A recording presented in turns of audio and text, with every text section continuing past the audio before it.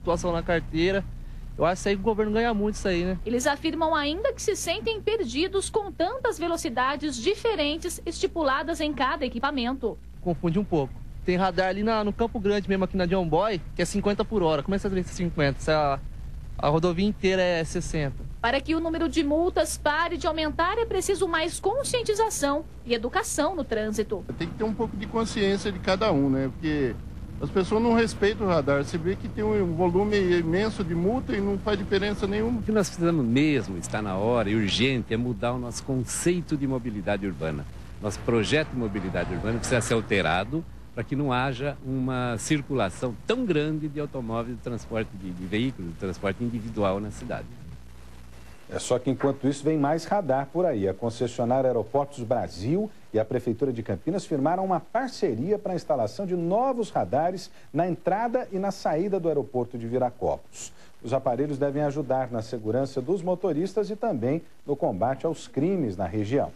Dois equipamentos que medem o fluxo e a velocidade de veículos foram doados pela Aeroportos Brasil, a Indec, como parte do convênio firmado entre a concessionária que administra o Aeroporto Internacional de Viracopos e a Prefeitura de Campinas. Os aparelhos vão ser usados pela ENDEC em estudos para detectar as vias do município que precisam de controle de velocidade. Dessa forma, Campinas consegue fechar o cerco contra os motoristas que ultrapassam os limites. Com a parceria, até o final de março, a ENDEC também vai instalar dois radares inteligentes que conseguem identificar carros roubados ou furtados, por exemplo.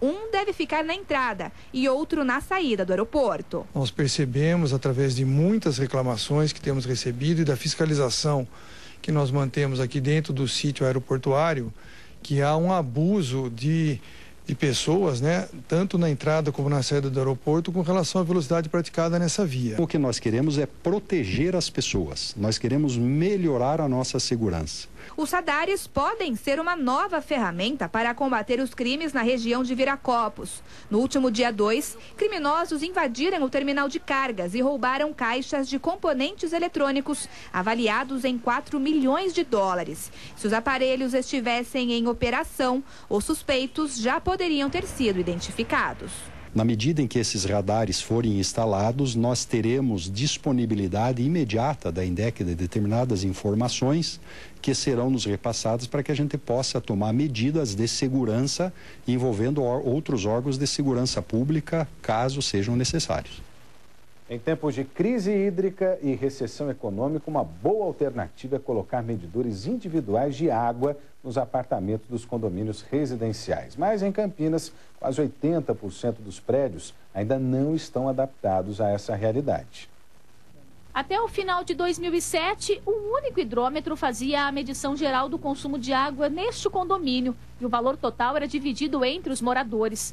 No início do ano seguinte, com o objetivo de reduzir a conta, os condôminos decidiram individualizar o gasto, colocando um aparelho em cada apartamento. A economia com o novo sistema valeu a pena. Nesta conta de dezembro de 2007, foram consumidos 2.042 metros cúbicos de água e pago o valor de pouco mais de 9 mil reais.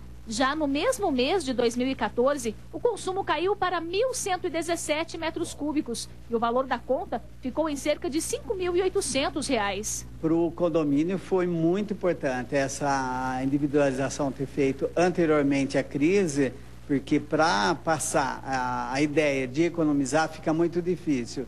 E na época foi muito fácil. Sônia é uma das beneficiadas. Antes da mudança, ela gastava cerca de 150 reais por mês com a conta. Atualmente, paga pouco mais de 30 reais. Melhorou que agora eu sei o quanto eu consumo de, de água. Se eu gasto muito, eu sei que eu vou pagar por isso. E se eu economizo, eu sei também que vai vir a diferença na minha conta. O problema é que em Campinas, segundo o levantamento da Sanasa, somente 21% dos condomínios têm o um hidrômetro individual. Isso ocorre porque uma lei municipal obriga apenas os empreendimentos construídos a partir de 2006 a terem medidores em cada apartamento. A regra não vale para os condomínios antigos. Segundo o Sindicato da Habitação, na maioria dos casos, não é viável fazer a adaptação no prédio. O número de obras e o número de intervenções necessárias no empreendimento, nos empreendimentos antigos para a implantação do, da medição individualizada, às vezes se apresenta inviável, é muito grande e muito onerosa. O Secov aposta em novas tecnologias que possam, a curto prazo, resolver esse problema em construções mais antigas. Mas, no momento, existem apenas estudos em andamento. Por enquanto, qualquer iniciativa que resulte em economia é de extrema importância. É algo que todo mundo vai buscar e vai conseguir com certeza, porque nós estamos aí numa, numa situação de, de escassez de recursos hídricos e tudo aquilo que você puder economizar, por favor, economize. Depois de três meses em baixas sucessivas, o sistema Cantareira consolidou hoje a recuperação da segunda cota do volume morto.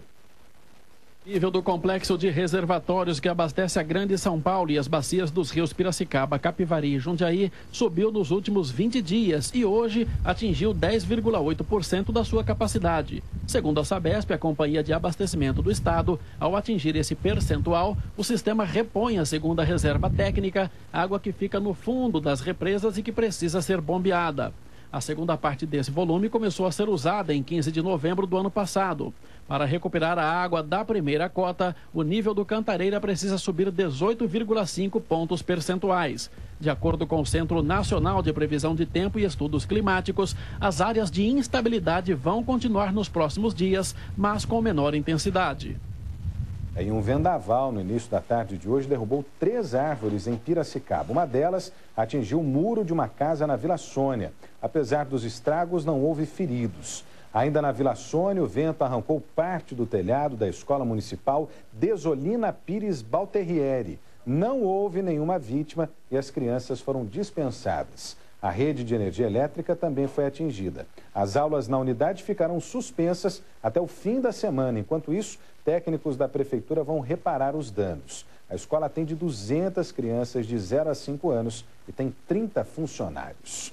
E vamos conferir depois da chuva a situação do sistema Anguera Bandeirantes, imagens da chegada à capital paulista. Trânsito fluindo normalmente, apesar da chuva, que também causou problemas e a morte de uma pessoa na capital Nesta quarta-feira, na região do quilômetro 26, no acesso ao Rodoanel, não há dificuldades, trânsito fluindo normalmente. Trânsito fluindo normalmente também para o motorista que segue no quilômetro 36 da Anguera, região do pedágio. Mais adiante, tempo bom, com boa visibilidade na região de Jundiaí, na altura do quilômetro 61 da rodovia Anguera, entre Jundiaí e o acesso às cidades de Itu e Itupeva.